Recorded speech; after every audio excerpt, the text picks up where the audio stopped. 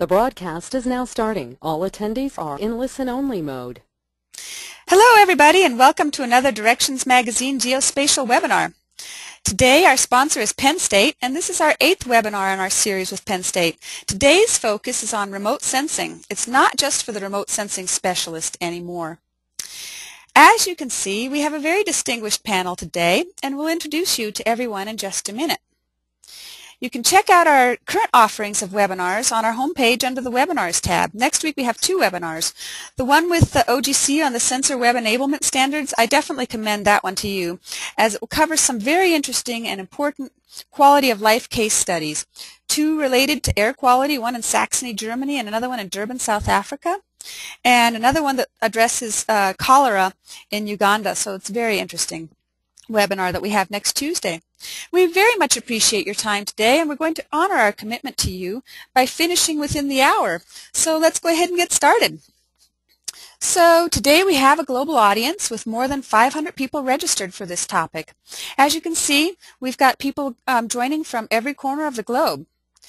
We mapped people today based on their response to one of our registration questions. Are you seeing a greater need to know about remote sensing in your job or organization? And as you can see, those blue dots, most many people indicated that they do need to have more information now, or they will need to soon, um, or even we have a few people signed up today um, to see if they can enhance their skill set for potentially looking for a new job. So you're definitely in the right place today. And in speaking of enhanced skill sets, I do want to let everyone know that participation in our web webinar series does count towards the GISCI's EDU 3 points. So if you need a certificate of participation um, for today's webinar, please email me. My email will be in the thank you note you receive, and that's probably going to be going out tomorrow. So um, let's take a few a look at a few housekeeping tips. And I see somebody who says there's no pin for me in Puerto Rico. Sorry, we must have missed you. There were a few that few people that couldn't be geocoded. Or actually, I made the map yesterday, so maybe you registered after that. My apologies to Puerto Rico. Anyway, so let's get to these first housekeeping details. During today's presentation, we will be taking a few polls and we'll walk you through that process when we get to you. There's going to be three polls. We also encourage asking questions. In your control panel, there is a section called questions and click on that plus sign and you can type in your question. You can do this at any time during the webinar and we'll respond to as many of them during the Q&A at the end of the webinar as we possibly can. If you have any technical difficulties, you can use that same interface you use to ask questions to send us a message and I'll try to help you out. Um, you can also send us a tweet at DirectionsMag and include the hashtag um, pound Penn State. And of course, the number one question we get during webinars is whether the webinar is being recorded. Yes, today's webinar is being recorded and all registrants will receive an email with instructions on how to view that on demand. And like I said before, we should get that email out to you tomorrow morning. You can also access a PDF copy of our slides, and you can take a look at the biographies, brief biographies of our speakers, and those two URLs are in your chat window now, so you can check those out. Finally, there will be a quick survey as you leave the webinar, and we'd appreciate it if you take a, a minute to just let us know how we did today. So let me just tell you everything, a little bit about Directions Magazine in case you don't know um, everything that we do. We're best known for our comprehensive online publication, Directions Magazine, and our newsletter and the many resources we offer to geospatial professionals. We also offer our content organized into channels. These are our online resources with news, articles, videos, podcasts, etc., etc., for professionals in various um, industries and um, and technology areas that are encompassed within geospatial, and they're a helpful way to navigate our copious content to drill into your specific area of interest. You'll find them on our homepage, and I've put the URL for our remote sensing channel on the screen here, so that might be of interest to some of you on today's webinar. And we have blogs, and we also host webinars almost every week. So now I would like to introduce to you our um, series um, moderator, Wes Stroh. And this is Wes and my uh, eighth webinar together, so we are old pals now. Um, Wes is a lead author and instructor for a new course at Penn State, Location Intelligence for Business, and he's an instructor and co-author of an introductory course called The Nature of Geographic Information. Prior to joining up this GIS world and geography, Wes worked in technical sales and marketing at AT&T and Exo Communications, and he was also in product management and merchandising planning with May Department Stores, Coach, and Eddie Bauer. His research interests include marketing and business strategy applications of GIS, and he holds an MS in geography from Penn State and a graduate certificate in network design and analysis from the University of Denver. So Wes, I'd love to um, uh, ask you to join in now and take it away. Thanks, Nora, and I'm excited to be here as well for our eighth in the series, Inside Geospatial Education and, and Research, and we're thrilled to be bringing you this remote sensing webinars. We've just recently expanded our remote sensing curriculum. We'll, we'll, get to that in just a minute, but we'd like to start out with our first poll. And our first poll is going to ask the audience to think about this question. Which aspects of remote sensing do you regularly encounter in your workplace? You can choose more than one. So Nora, let's go ahead and turn that poll on. So in terms of what you encounter in your workplace in the context of remote sensing, do you encounter orthophotos, elevation and terrain data, do you do image analysis? Something else we haven't listed? Or are you one of those folks who doesn't feel like they really encounter remotely sensed data yet? Go ahead and take a minute. Go ahead and let us know what you think. Nora, are you seeing those polls coming in? I sure am. Thanks for checking on that. We've got, uh, gosh, uh, quite a lot of people participating in this poll, and I apologize. It looks like I truncated a couple of words there um, on the question itself, but it looks like it's making sense to people. And looks like the, the voting is leveling off. We have um, about 85% of the audience has um, voted, so I'm going to go ahead and close that and share the results. Thanks. Okay, so definitely orthophotos is um, is up there. Two thirds of the audience um, is dealing with that, but also almost 60% of you are dealing with elevation and terrain data. 50% of you are um, uh, seeing image analysis coming up. Um, some other things are also um, showing up for you. And then um, there's there's just a few of you who aren't uh, encountering remotely sensed data regularly yet. But you know, most of you are, so you're definitely in the right place, and I do see questions already coming in from the audience, so um, looks like uh, we've got a, a, a, good bunch of interest in this crowd, Wes. Let's go ahead and turn to our agenda today, Nora. Uh, I, I, think that that poll question really does set us up for the, the kind of context of what we're going to try to cover today.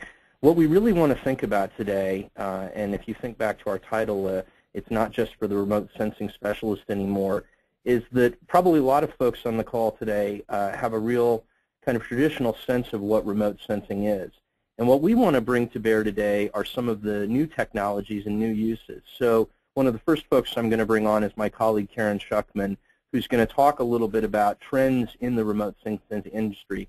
Then we're going to turn to uh, colleagues of both Karen's and mine, Mike Renslow and Dr. Jay Parrish, who are going to discuss what, how we're addressing some of these new technologies and new trends with three really innovative courses uh, amongst our five innovative curriculum responses to the, the directions of remote sensing. We're going to look at advanced applications of LIDAR, unmanned aerial systems, and then some emerging trends in remote sensing in a seminar format. Karen's going to come back following that and really kind of contextualize the entire Penn State curriculum. And then we're going to talk a little bit about uh, how this is coming to bear in the professions and how we're seeing it uh, change certification in remote sensing, again with Mike Renslow. And we've also set aside plenty of time today for questions and answers for you, so we'll get to as many of those as we can. Let's go ahead and turn now to my colleague Karen Schuckman, who's a senior lecturer in the online geospatial education program here at Penn State. Karen was formerly a consultant to the URS Corporation in Gaithersburg, Maryland, and when she was geospatial technology leader there in, in 2005 and 2006, she supported response, recovery, and mitigation projects with FEMA following Hurricanes Katrina, Rita, and Wilma. She's been past president, or she is past president of the American Society for Photogrammetry and Remote Sensing, former vice chair of NOAA's Advisory Committee on Commercial Remote Sensing, and is a member of the National Research Council committees on floodplain mapping technologies and, and FEMA flood map accuracy. Karen's a real expert in the field, and I look forward to what she has to say today. Welcome, Karen. Thanks, Wes. And I just want to uh, thank everyone who's participating. It's amazing to see such global participation. And thank Nora and Wes for helping us through the preparation for this. All their guidance was really, helpful. So when we're talking about remote sensing in the geospatial profession, uh, most people immediately think of imagery that would be either collected from a satellite or some form of an aircraft. Another type of important remote sensing data is elevation or terrain. Historically, elevation data was created using overlapping or stereo imagery using photogrammetry. And this is still being done today using digital aerial cameras and high-resolution satellite imagery. Many of you have heard of LIDAR, which is a laser scanning system which effectively paints the ground with 100,000 or more individual elevation measurements every second. LIDAR is currently the preferred method for collecting high resolution and high accuracy elevation data. Radar, or more precisely, interferometric synthetic aperture radar, or IFSAR, can be used effectively in cloudy or remote areas of the world where aerial photography and LIDAR are difficult to collect. And some of you may have heard of the Shuttle Radar Topography Mission, SRTM. SRTM mapped most of the land surface of the Earth at a medium resolution and accuracy. Remote sensing also includes extraction of higher level information from imagery and elevation data. The examples shown here are land cover maps. The one on the upper left was produced for the United States from Landsat data and is given to many users in environmental disciplines. The one on the lower right was produced with a combination of hyperspectral and LIDAR data to identify potential wetlands for environmental permitting of a planned transportation corridor.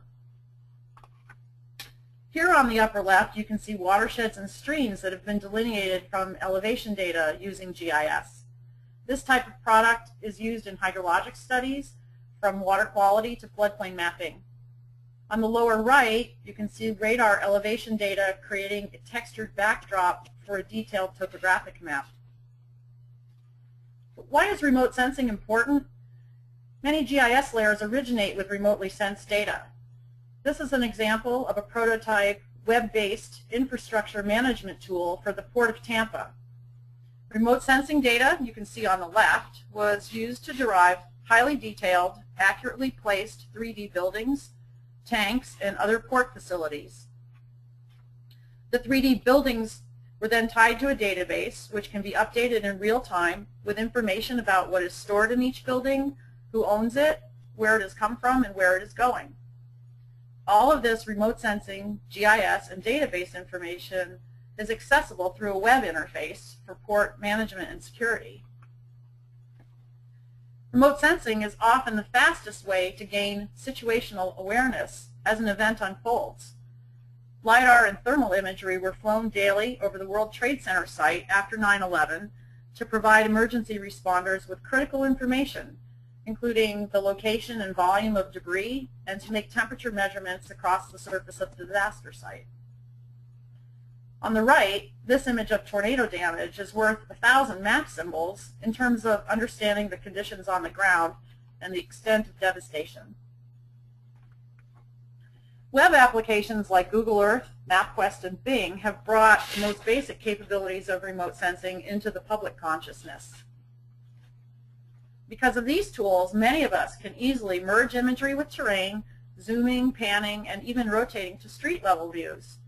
But notice in this example from Google Earth that the stadium structure is not accurately represented in the street level view.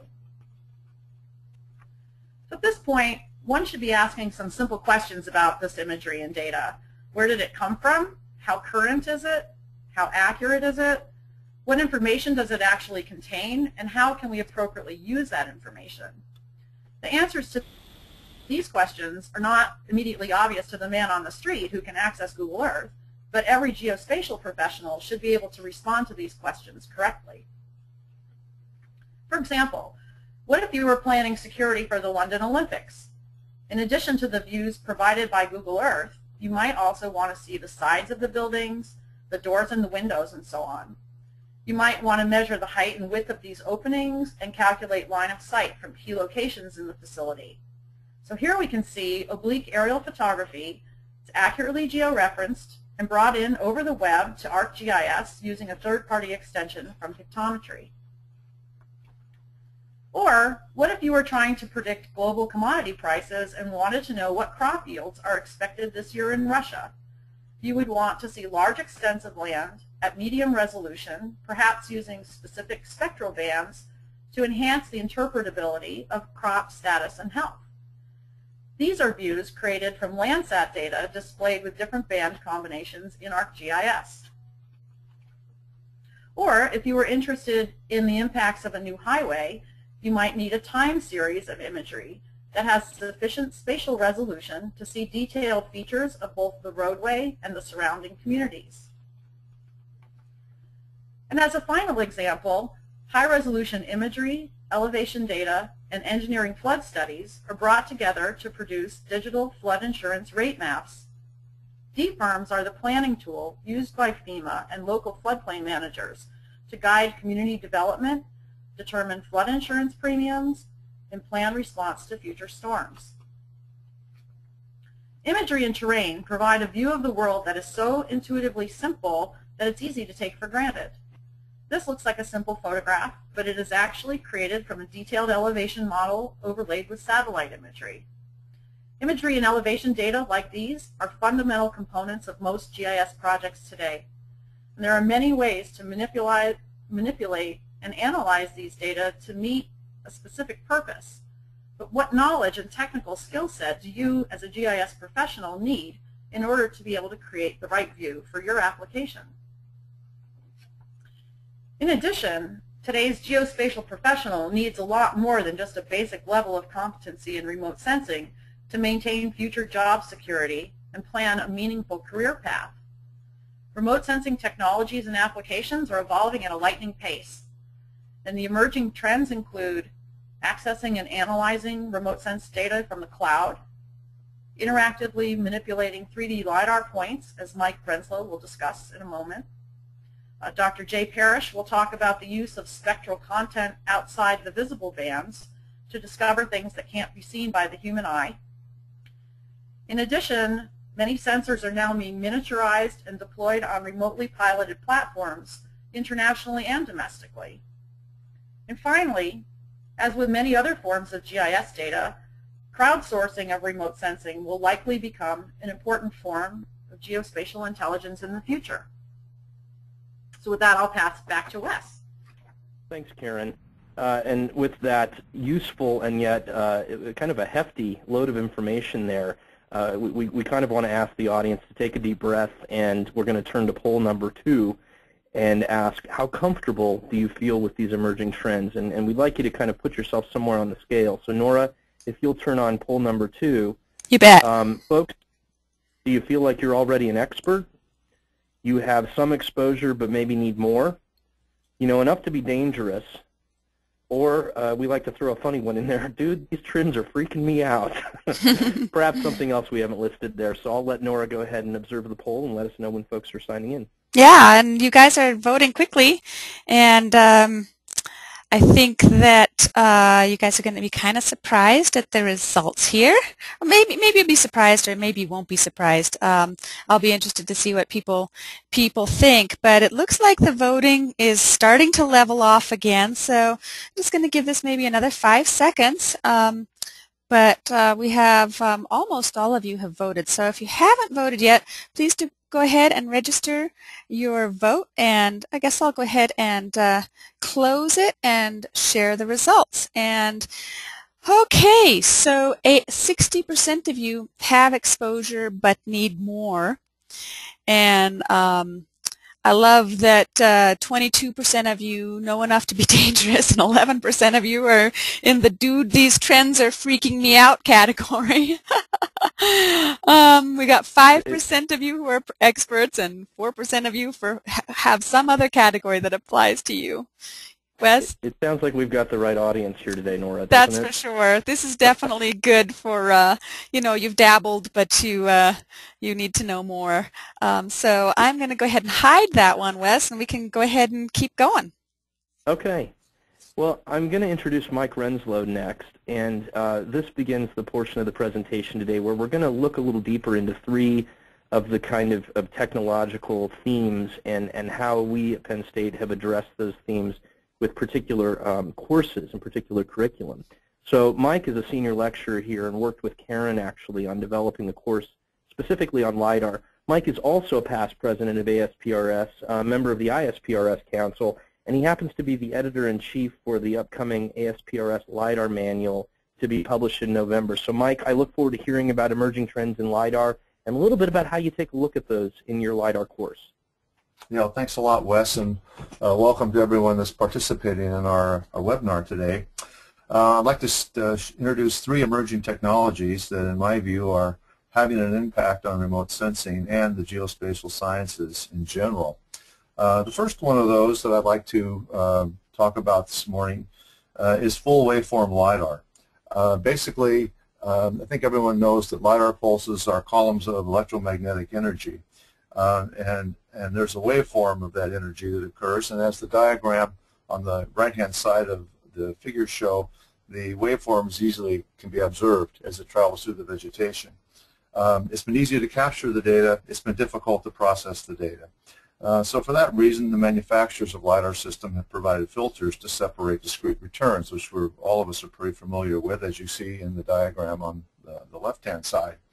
Well, in the last couple of years, the software has developed, and the processing of these very, very large data sets is now available, and there are some really interesting applications. Uh, the first application uh, that I'd like to introduce to you is being able uh, to use the waveform LiDAR to create very, very, very dense point clouds. In this case, it's of a forest, and visually you can see the shape of the trees, you can see the understory if there's a riparian component, and also the bare earth. Uh, so the waveform LiDAR has allowed you to observe all of these. Well, um, with that now you can do complete mapping and measurement of forest land cover and understory. What does that mean? Well, if you're a forester, it means you can measure height, very accurately, and you can compute volume analysis and other kinds of, of measurements in forest land. If you're a biologist, you can also measure and you can map habitat. And if you're a fuels expert, it gives you the data that you need to measure, for example, the live crown and model fire behavior.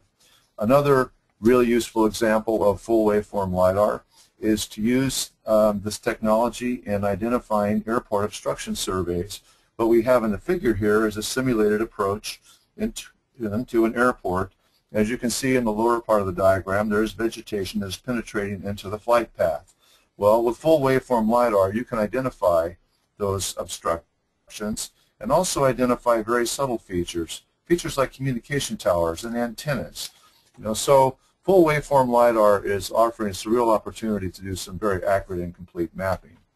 Another new technology I'd like to introduce you to is called flash LiDAR. I think everyone's familiar with what a CCD array looks like on a camera. This is basically an array of LiDAR sensors. The figure on the uh, right-hand side shows an array of 127 by 127 LiDAR sensors. Well, what that means, every time this system flashes, you get over 16,000 LiDAR pulses. It can, using one nanosecond pulses, fire at 30 times per second. The simple math will give you nearly half a million pulses per second from a flash LiDAR system. The result is you get a very dense point cloud with LiDAR intensity data. Keep in mind that there are no moving parts. This is quite portable. As the image on the bottom of the diagram shows, they're about as big as a shoebox. And because of the nature of this technology, it can be processed in near real time for development of products for both two-dimensional and three-dimensional uh, spatial data. Uh, this application shows that in a real-time 3D mapping, combination of flash LiDAR with a video cam, uh, taking uh, flying in a UAS, uh, capturing 3D stereo imagery with flash LiDAR data, merging it into a three-dimensional visualization. Well, for examples like reconnaissance, change detection, and disaster response, this is incredibly useful. Another application is using flash LiDAR to map power line corridors. Um, you know, power line corridors uh, are a very valuable asset to providing power uh, throughout North America and around the world.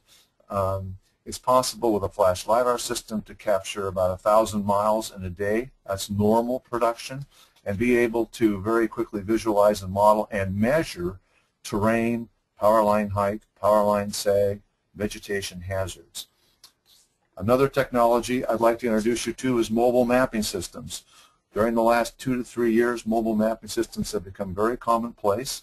Basically, it's capturing geospatial data from a moving vehicle, combining the technologies of LiDAR, imaging systems, frame grabbers and videos, GPS, and inertial data, and being able to generate survey quality data quickly and safely. Uh, the image on the top of the, the, figure shows a Lynx, a sophisticated system incorporating LiDAR GPS in a video. Uh, the image on the bottom is the Google car with a high-performance rotary camera. But basically, these systems are designed to provide corridor mapping capability. Well, one application that has become extremely useful for mobile map mapping systems is complex areas, complex corridors. In this case, you're looking at a light rail system. It's quite easy to visualize and measure the tracks, physical conditions, you know, all of the infrastructure, vegetation, signage. It can be done any time of the day, and in this case it was done at night, you know, and the result is a very complete much more accurate data set than traditional mapping methods. And the last technology I, would like to uh, to continue on with this mobile mapping systems is being able to extract engineering measurements.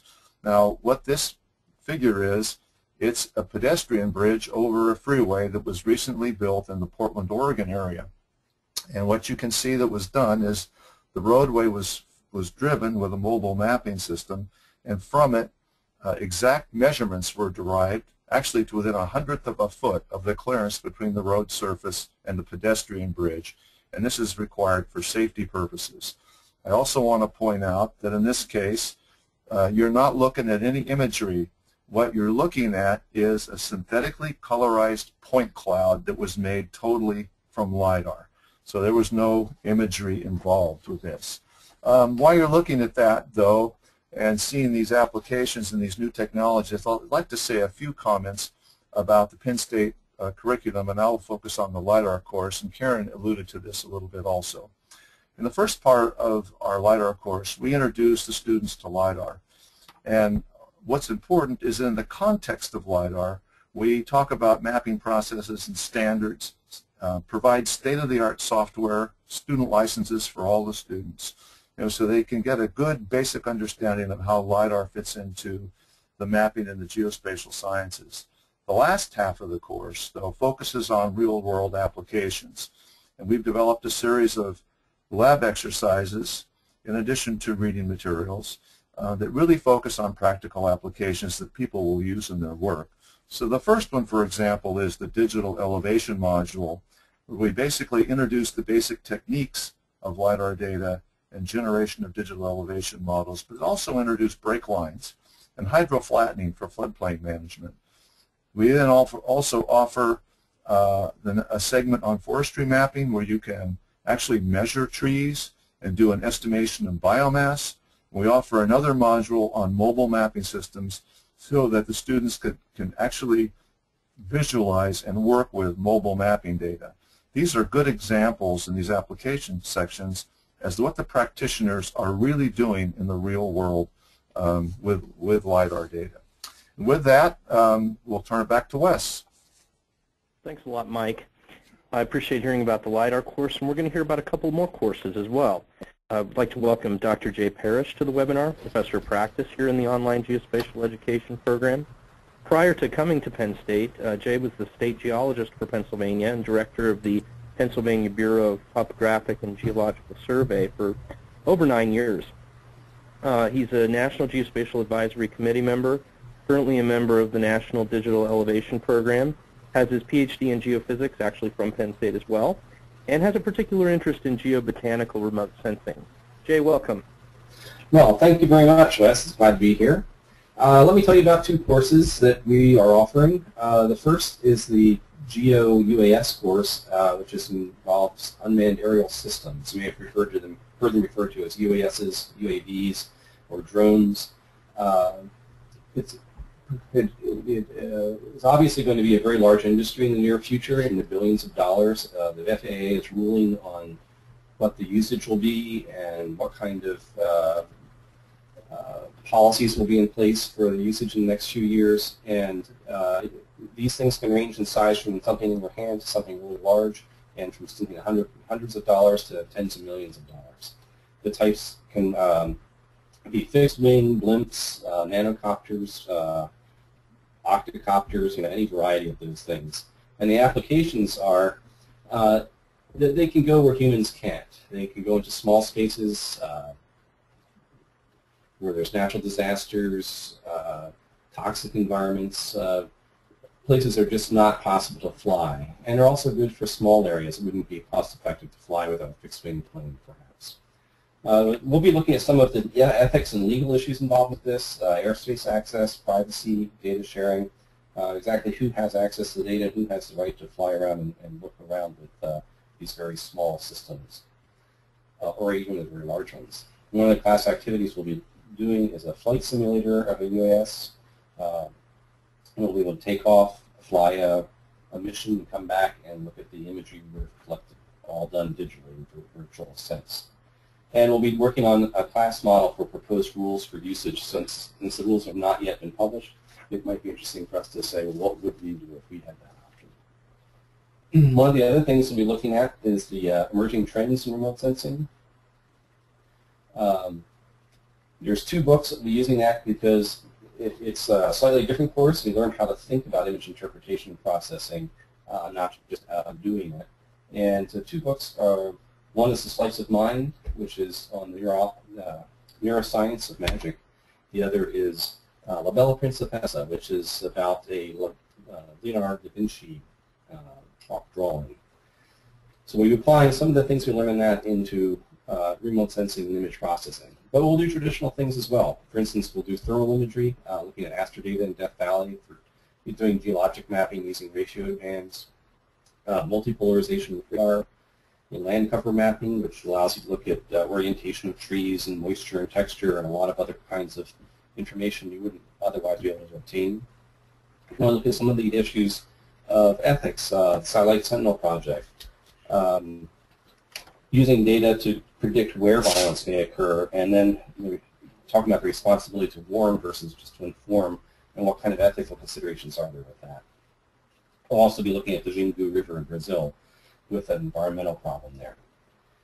Turning to the art part, um, let's take an example of a Rembrandt, Rembrandt uh, self-portrait that's in Washington, D.C.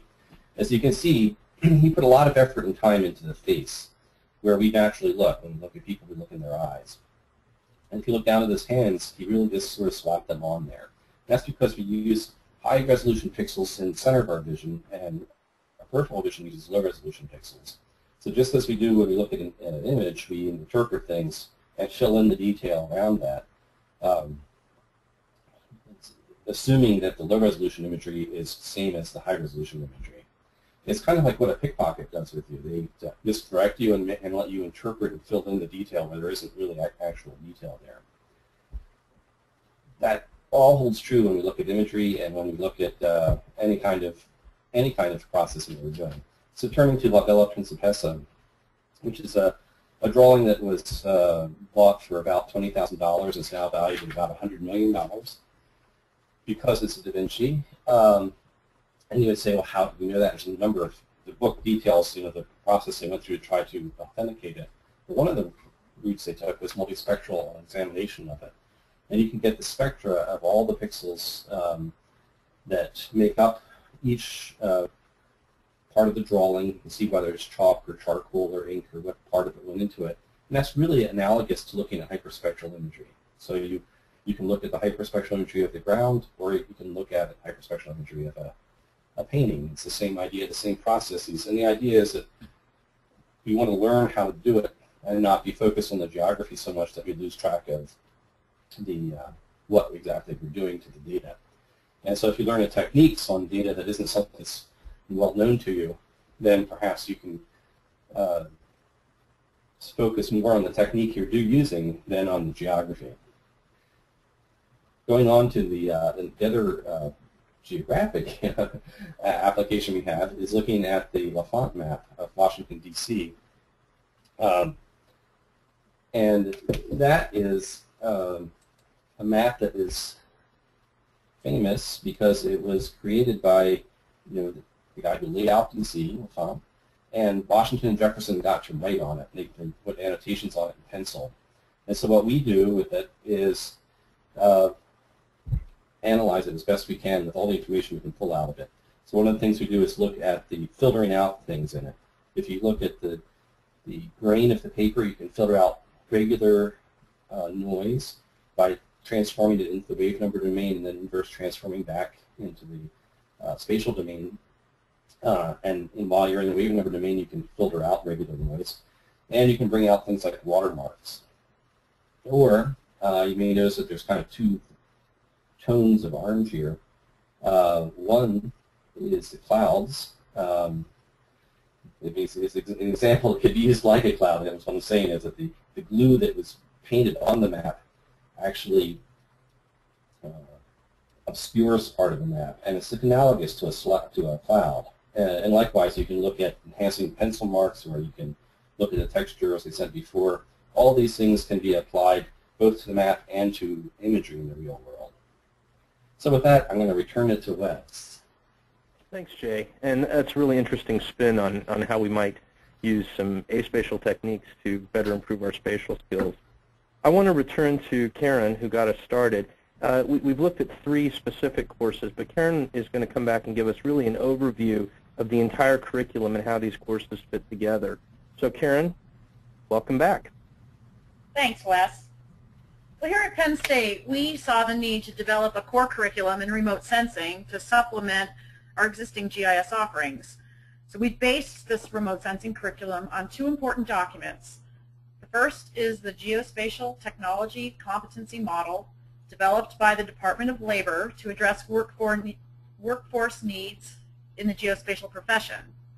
The second is the Geospatial Analyst Competency Plan authored by the National Geospatial Intelligence Agency. We try to address the basic industry-wide technical competencies at the introductory level, analysis and modeling at the intermediate level, and emerging trends in our two graduate seminar courses. My personal mission and the reason I left industry to teach is to make sure that all geospatial professionals have some basic competency in the use of imagery and elevation data.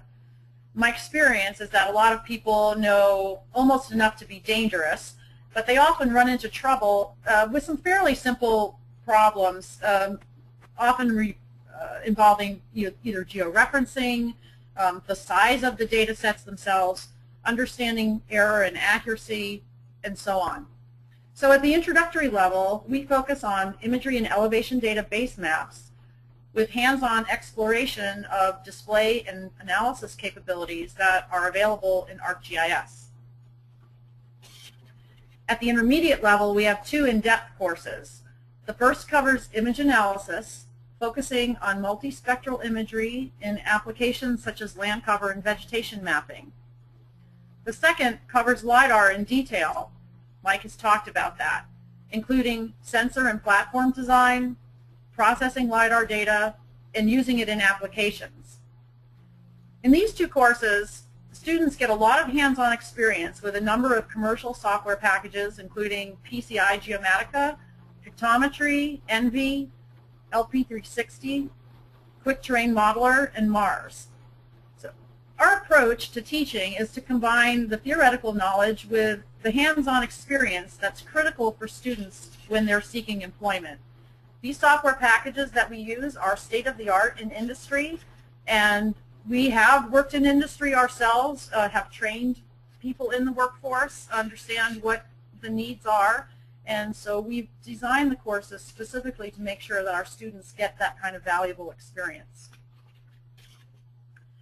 Finally, Dr. Parrish offers two graduate level seminars covering more advanced image analysis and, as you heard, unmanned aerial systems. And he's talked about the seminar content in his presentation. You can find more information about our courses on the World Campus Remote Sensing webpage. We'll be showing you that URL in a few moments. Okay, Karen, thanks a lot. Well, we, have given you a lot of information, and uh, we, we, always try to do that in these webinars. We hope it's the opening of a conversation with folks that are interested in, in curricular offerings we have here at Penn State.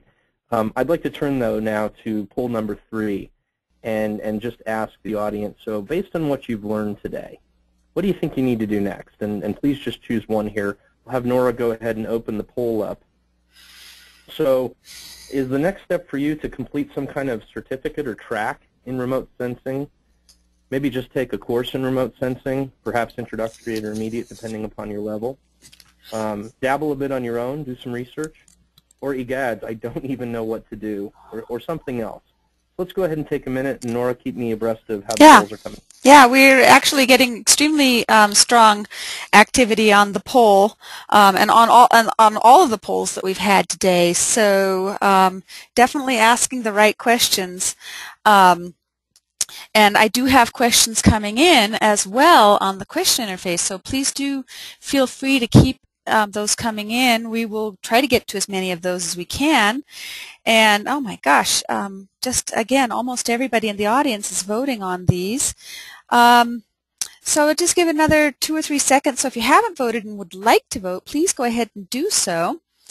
And um, okay, I'm going to go ahead and close it, and I'll share the results. And um, you know, a lot of people who want to, a, a, a quarter of you want to take a certificate, 30% of you would like to take a course, um, quarter of you are willing to strike out on your own, and we have that 6% who's in the EGADS mode. Um, and 16% uh, describe themselves uh, in some other, um, being in some other mode. But um, what do you think, Wes? Well, I'd like to turn to one more topic before we get to folks' questions, and I think I think we'll have some thoughts on what folks should do next, as well as I, I know some of the questions we've been getting as I've been watching the question groups are on uh, on the trends themselves. So we'll get to those in just a minute. Before we do, though, I want to turn to Mike Renslow one more time. Um, one of the things that we really want to cover, we always want to make these webinars, uh, you know, really kind of practically focused, and so we know folks are concerned about uh, their, their place in the workforce and, and are they prepared and are they competitive. And so Mike's going to speak to us for just a minute about certification in remote sensing and how that can be advantageous to your career. So welcome back, Mike. Hey, Wes, thanks a lot. Um, I'm going to just share with you a few comments about uh, professional development and certification in the geospatial sciences. One question you may have right at the beginning is, why do I need to become certified? Well, basically, certification and being certified is an opportunity to stand out from the rest of the folks in our field. The geospatial workforce is growing all around the world, and anything that you can do with your education or your training or your experience is important towards your career and your professional development. So I'd like to share with you a few comments about some of the existing certification programs that exist. The first one I'd like to mention is the certification program available from the American Society of Photogrammetry and Remote Sensing. I'm pretty close to this program because I chair the committee for the society. But frankly, it's an older program. It's been around over 35 years. It initially began to certify folks that practiced in photogrammetry, but has matured to the, to the point now where it also provides a certification for both folks that specialize in remote sensing and our GIS practitioners. The certification program is developed for folks at both the professional level and the technologist level, and it's a time-proven process that includes peer review, personal references, and an examination. And, and one thing I wanted to spend a few extra moments about was talking about a special program that the Society has developed for graduating students it's possible that you've completed your education and you want to become certified, but you need the required job experience. It is possible through the provisional certification program to go through the complete process without yet having the experience and becoming provisionally certified. And when your experience is completed, then you become fully certified. And of course, if you participate in the, in the curriculum and the coursework at Penn State, you certainly can qualify with this program. There are a few other programs I'd like to share some comments with you. Many of you are familiar perhaps with the GIS Certification Institute, who developed professional certification that was implemented in 2004, and today there's approximately 5,000 professionally certified, uh, certified by GSCI. It's based on peer review, and it's examination of your education, your experience, and your contributions to the profession. Another one is becoming quite an interesting certification process is the U.S. Geospatial Intelligence Foundation. This basically is a review of the college course geointelligence curriculum and program and providing an accreditation. Penn State is one of a small group of universities that has the accreditation and possesses the certificate from USGIF. Uh, so when students graduate from the program, they receive a certificate from Penn State and also a certificate from USGIF. And this program is expanding, and the, the staff at Penn State and the faculty are very aware of this, and uh, we are very much involved with the process. Uh, and finally, uh, the University Consortium on UCGIS uh, has de developing a program to assist higher learning institutions uh, to develop a, a certification based on degree and non-degree training programs. And with that, I'll turn it back to Wes. Thanks, Mike. I'll take just a minute to put some additional resources up. Uh, if, if, anything, you might copy down that URL at the top of the page, www.worldcampus.psu.edu slash RS, and that'll get you directly to a landing page with the remote sensing curriculum and some of the specific issues we've covered today. We've also got the emails for our, our three faculty that have presented today. Promise you that in the follow-up email that Nora will send tomorrow, we'll have all this contact information along with the link to the website, uh, to the archive of the, of the webinar today. Um, but what we'd really like to do now is, is turn to your questions, and I know they've been coming in. I'm going to go ahead and field the first question while we get some of the others queued up. One person asks, uh, do you have an online undergrad program for GIS? I am sorry to say we currently do not offer an online undergrad program for GIS. The courses that we talk about today and in many of our webinar series offerings have to uh, are primarily targeted towards folks that are post-baccalaureate, so after a bachelor's degree. I will say this, though, many of our courses have been developed, and certainly some of the remote sensing courses fall into this category. Uh, we, we like to think of them as professional development, and professional development really means different things to different people. So some folks just want to go out and learn the content, um, and some folks want to advance in a particular uh, vein of the industry. And so if you have an interest in, in one of the courses we've talked about today, or really most of the courses in Penn State's online geospatial education program, please don't hesitate to contact us, and we'll see if we can't find the right match for you. I know that we had a question early on, and I'm going to try to pull that one up here. Um, and this one I'm going to turn, I think, to Karen first and then to, and, and perhaps Jay wants to comment as well. So the first question is, is hyperspectral imaging an expanding science or declining? And what they mean by that is, is it being replaced by other less expensive technologies that are just as good? Karen, do you want to take that first? Yeah, I would say it's definitely um, on the upswing. Uh, hyperspectral remote sensing has been around for some time, but the sensors were uh, they're few in number, um, rather expensive, and the data is quite complex in its content and difficult to process.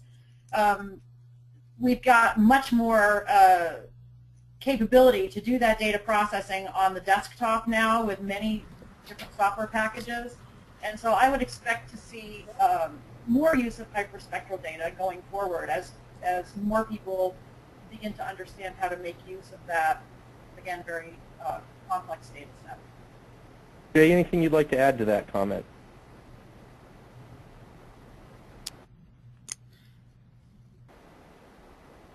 Did we lose Jay?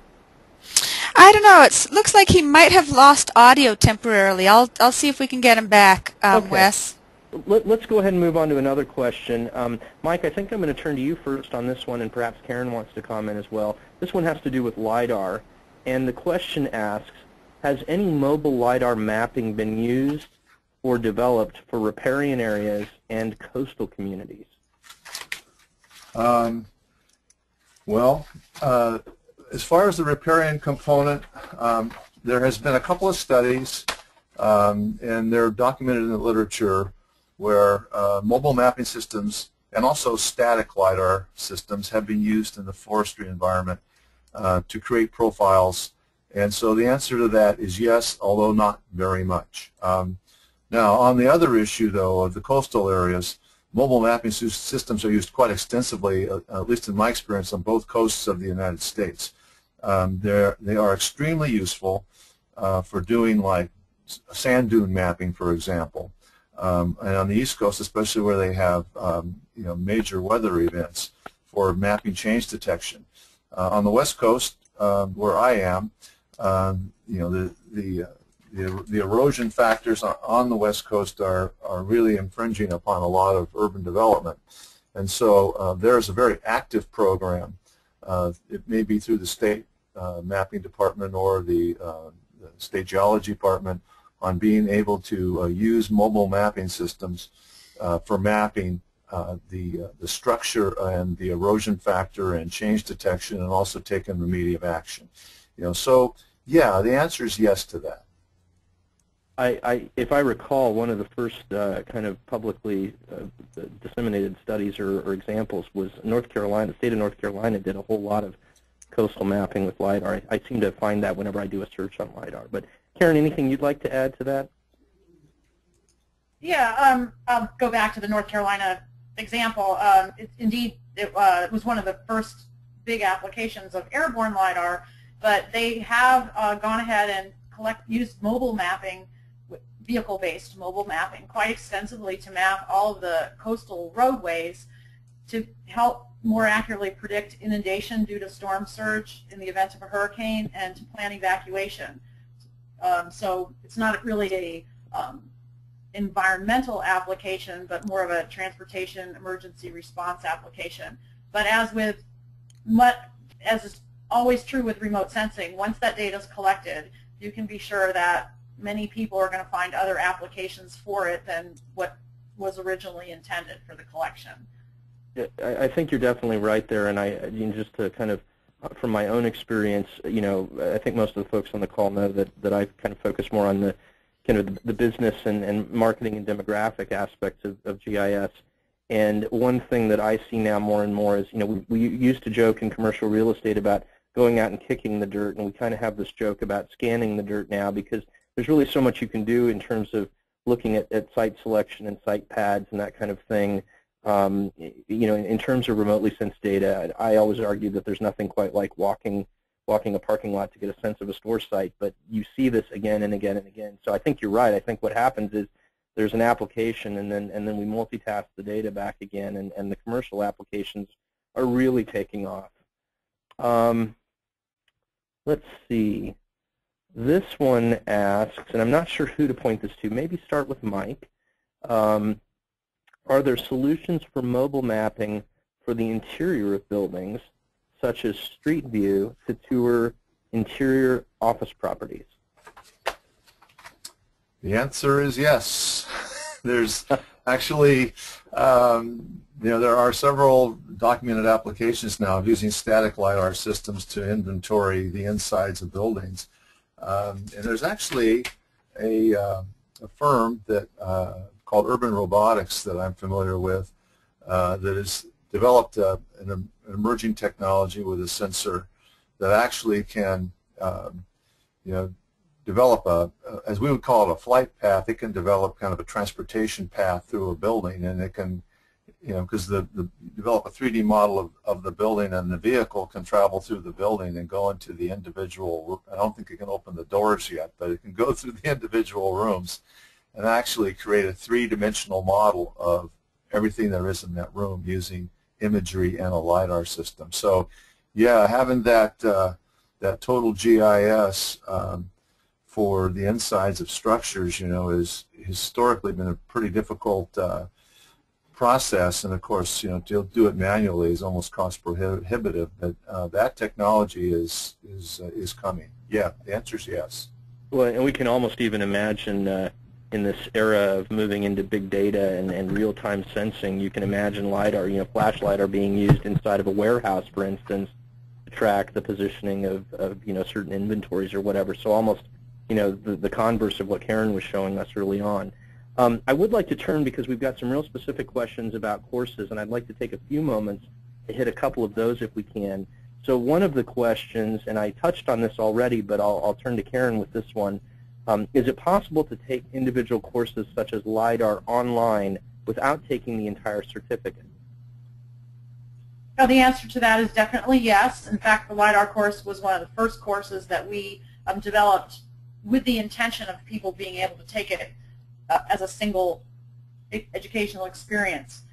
Um, I do encourage students to uh, look at the course website, which is pennstatelidar.com, and look, you can see a lot of the course content there. It's publicly available. Uh, we have a little self-assessment quiz that we ask people to take because there is the assumption if you take this course that you're um, you're fairly familiar with a lot of basic geospatial concepts, um, and you have some capabilities, particularly with ArcGIS. So I would okay. tell people, look at that website and look also at the website for the intro course to see kind of where your level of expertise and preparation is.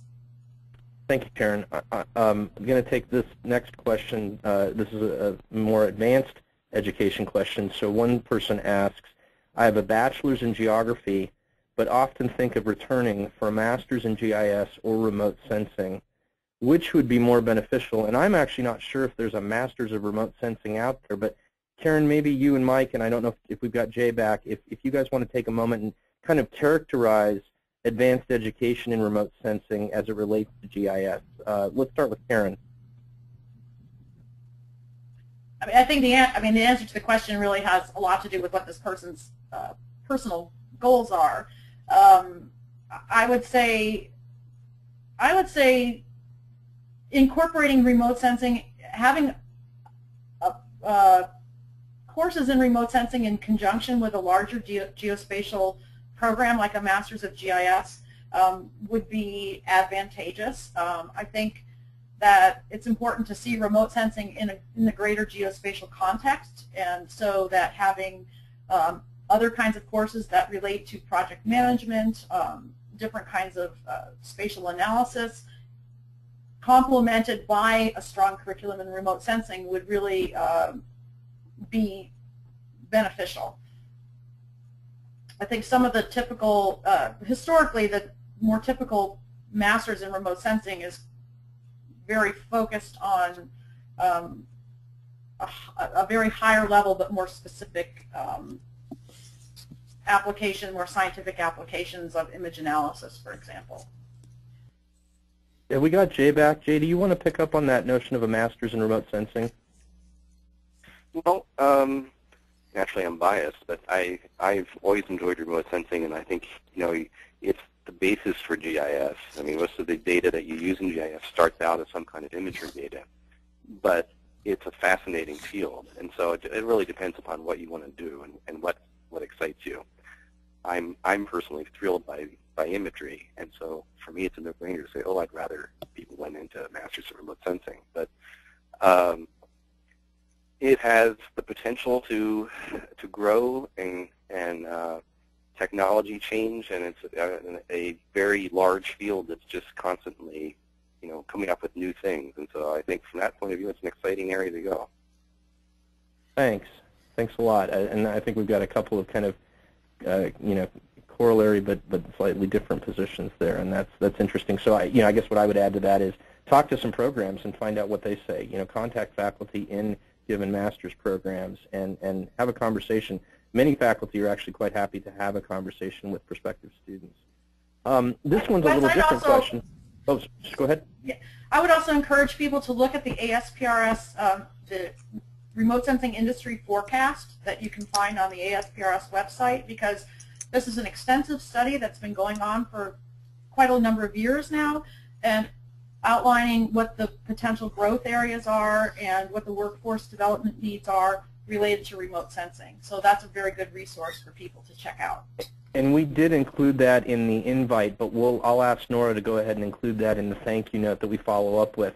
I want to get to at least one more question, and then I think folks will start to drop off here because we're at the top of the hour, uh, and I'll let Nora let us know if we can continue with a couple more questions since we've got so many. Um, Yeah, one absolutely. person asked, how can I refresh my education in GIS and remote sensing without taking full courses? Anybody have an answer to that? I Well, guess I there's a would lot of- Well, I again can make remind people that. about that. Oh, let, let's get Mike. Sorry, Mike. Go ahead. Okay.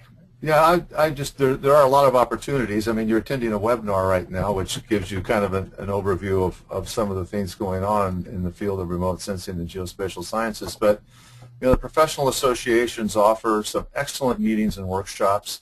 Some of those are actually offered in a, in a web format also. You know, so um, admittedly, a lot of folks just can't make the time to take a course, so they have to be constantly doing something. But you can time your schedule in such a way that you can attend a lot of these workshops or take webinars. And, you know, at least the, I'm very familiar with the ASPRS webinar program, and it, it offers state, state-of-the-art education uh, for geospatial sciences. So I, I would recommend that they take a look at those opportunities. Nora, did I get to go ahead from you that we could go for another couple minutes? And Yeah, definitely. Go for it. Okay. I, I, I feel like we've got about 170 people still hanging on with us Yeah. and a lot of questions. So uh, for those of you that need to hop off, I, I want to say thank you on behalf of Penn State and, and on behalf of Nora and Directions Media.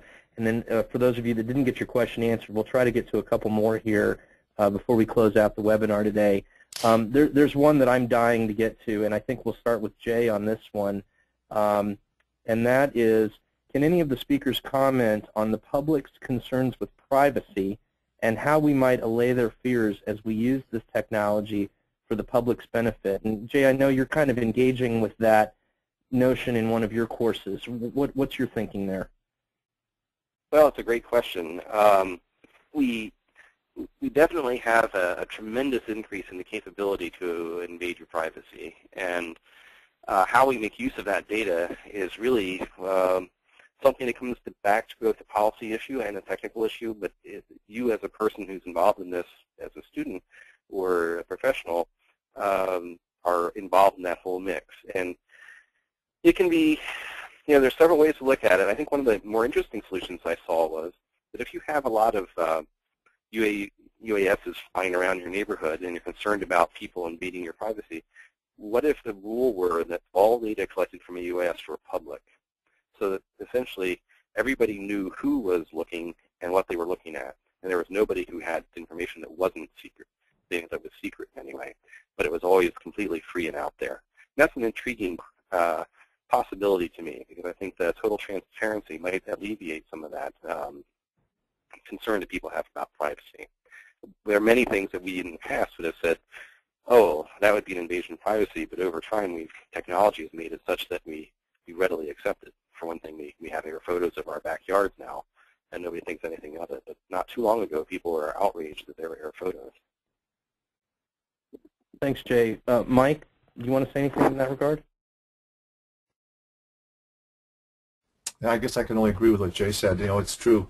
Um, you know, 10 years ago, having, you know, uh, one-fourth of a foot image resolution of the city you live in would have caused a lot of a lot of concern among people about privacy issues, but today it's normal. And, you know, there, even though most of the world doesn't realize that they're using remote sensing, uh, they are. I mean, they have all sorts of devices, you know, that allow them to uh, observe and in some cases even manage the data to extract different kinds of information. And it, you know, they, they use it all the time, you know. So um, I, I do think, though, um, uh, in, in, in the larger picture, you know, uh, even though the data is available, um, you know, it's how how the data gets used is where it starts to become, you know, uh, an issue with, with privacy. So um, I think I think the I think in general the public is, has accepted the fact that we live in a world where there's a, a lot of information available. Yeah. Um, Karen, I'd like to turn to you for a, a different question, and uh, maybe we'll do this one and one more, and then I think we, we don't want to take up too much of folks' time, but I, I thought this was a good one, and it kind of touches back on the, the software that you discussed that some of the courses engage the students with. So this question reads, do you know of any educational institutions or software companies, example, um, and I'm not going to get this right, Exelis VIS or ENVI, um, that offer on-the-job training. I want to continue my learning. My employer is willing to support further remote sensing exploration. Uh, should they take a course with us, or should they go for the on-the-job training, or how does this work? Um, again, I think it's it kind of depends on the person's personal situation. Um, a lot of the software manufacturers offer you know training webinars and so on, and I, for one, also make use of those just to keep myself current with software such as ENVI and so on. I think the difference between taking um, the vendor training and taking a course like the ones we offer, we tend to give a, a quite a bit more sort of theoretical background in sort of, you know, how does this work? And how does how do the sensors work? What is the software actually doing? Where the software training that you get from the vendor is usually more about, like some people call it, you know, learning the buttonology, like which buttons do I press and where are the tools. But I think they don't always have time uh, to go into you know, the, the background about what is actually happening. So in our courses, we try to use the software as a means of demonstrating principles and concepts, not just giving software training. I, I think that's a fair answer, and I, I, I, can speak from you know other courses in the program. I think that's you know students who graduate from the Penn State program or take courses with us certainly feel that way. Um, maybe this we can make our last question, unless anybody has anything else they want to say. Mike, um, I think I'll give this one to you. I think it's a pretty easy one. We'll see. Um, folks want to know: Would certification be recognized throughout the world, or only for the U.S.? Um, well, the I think we're talking about the like the ASPRS and that. Yeah, the ASPRS program is an international program. Um, we actually have. I, I, just looked at this the statistics recently, and we have about 80 individuals that are certified outside the United States and Canada. Um, and you know, membership in ASPRS is not required, you know, to be certified. You know, so the answer is yes. It's an international program. Well, thanks. And I, I, don't want to take up too much of folks' time. I appreciate those of you. We've still got 133 in the audience hanging on with us. Um, really, really robust discussion today and a lot of great questions answered. Do, do any of our panelists have any last things they want to say before I say thank you and hand it back to Nora? I think that's a no. Okay. well, on behalf of, of Penn State and this wonderful eighth episode in, in the Inside Geospatial Education and Research series, I'm really glad you joined us today. Nora, thanks from Penn State to Directions Media, and please take us out. Yeah, thank you so much, and thanks to the speakers. Thanks for everybody who joined up. Um, I wanted to mention to the audience, you know, we did have a lot of questions. We didn't even scratch the surface, but our um, panelists did put their emails up there, and they put them up there. I double-checked with them. They really do want you to uh, to interact with them, and um, so please do um, do follow up on questions that didn't get um, answered. And um, anyway, so yeah, let's let's go ahead and wrap up, Wes, since we did take a little bit of extra time. So thanks again, everybody, for coming, and be sure to tell a friend about Directions Magazine, and we'll see you the next time. Thanks, everybody.